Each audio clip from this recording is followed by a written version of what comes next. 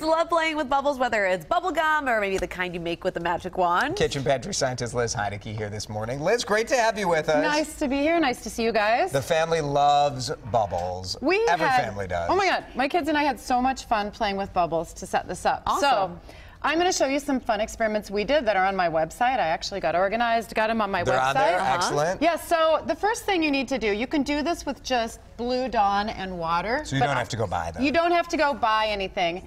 But I actually add things like glycerin, cornstarch, the recipe's on my website, but to make, or in this book, to make um, the bubbles last longer. A little bit stronger with that, those So thickening bubbles are basically just water and soap, right? Sure. What water, what the soap does, it's called a surfactant, and it breaks Oh. the surface tension of water, and so you get this nice little sandwich. You might want to move your iPad a little there, right, Jason. sure. So I'm just, I have a piece of glass set on a tray here, and I'm spilling all over. That's okay. But we are just going to use straws to blow bubbles. So Oh, why don't you guys go ahead, grab a straw, dip it in the bubble solution, and see how you can blow bubbles with a straw? oh, just with a straw? Yep.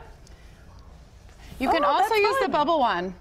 But what we're going Uh-huh. to do first is use static electricity to move a Look at- bubble around. Look at all that's going on. I know. there. I'm having, Bubble in one hand.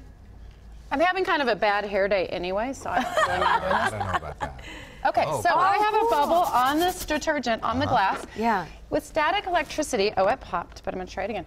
You can use static electricity to make these bubbles move around. And that's just because you have a charge on the balloon. Can you Oh, see that? yeah. Look at yeah, that. look at it go. And then you have all the water molecules in the bubble line up, and you can pull the bubble around. So it's oh, kind of like Oh, yeah, a pet and bubble. Look at all the Yeah. other bubbles. Isn't of that on cool? Thing Moving moving around, around. too. That's cool. Okay, the next thing you guys grab grab another straw. 'Kay. We're gonna blow a bubble in a bubble in a bubble. So you're just gonna dip your straw in here. Okay. So bubbles are really elastic, right? Yes. And you can actually poke a straw through them and they won't pop. So we're gonna blow bubbles on these plates. So On if you guys plates. scoot over, I'll show you. Okay. We're gonna blow a bubble on the plate. Okay. Can you see that? Blow it Oh, big. Look at that. You gotta do one too, Jason. All right. Then you're gonna get more. You're gonna put your Look at my bubble. That does I feel pretty good Yep, about get a little more Oh, you're trying to get it to be bigger than mine, Jason? Nope, you can have the big one. get a little more detergent on your straw and try to blow a bubble in your bubble. Okay. And Kylie, why don't you actually do one on that plate right there? You want to do one on the plate? I'm gonna move the bubble mix over for you. Thank you.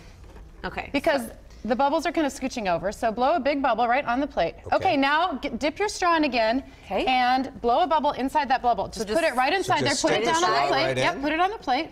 Okay, now stop. Oh, okay. I, made it. Oh, Oh, oh, yep, oh, popped oh, if you oh, look on my website, though, you can actually blow like multiple ones inside. multiple ones inside. You can blow like four or five bubbles inside other bubbles. That's so cool. Isn't you that cool? Do a little bit smaller. So yeah, so oh, do the second through. one a little bit smaller. A little tricky, Probably work. cool. There you go. There Finally it got is. one. See that? Yeah. So you can blow like three or four. That's awesome. Okay, Kelly. now this one is the coolest. Yeah, look at that. I got out my glue gun. You can do this with Play-Doh and straws or a glue gun and straws. Okay.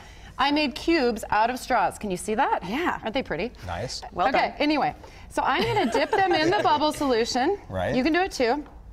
When I pull them out and shake them, it is going to form a little bubble prism. So go ahead. See that? Oh, right in the middle. Go ahead. You can do that it with one's too big. one? Kylie, big? why don't you do it with the Eh. small one? okay. So can Get you see I have the bubble prism here?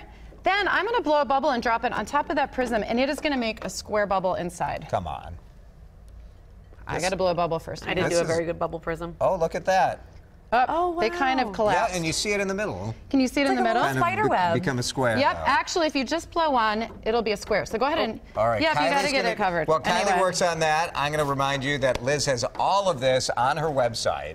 Uh, go to WCCO.com. It'll get you to KitchenPantryScientist.com.